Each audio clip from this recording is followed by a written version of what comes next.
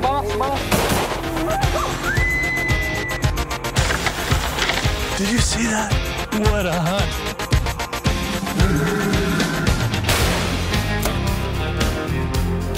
Oh, he's beautiful. That is a Saskatchewan buck.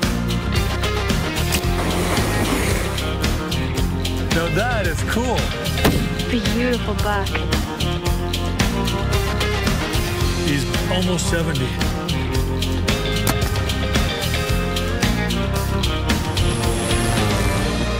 Jim Shockey's Hunting Adventures, presented by Thompson Center Arms, America's master gunmaker.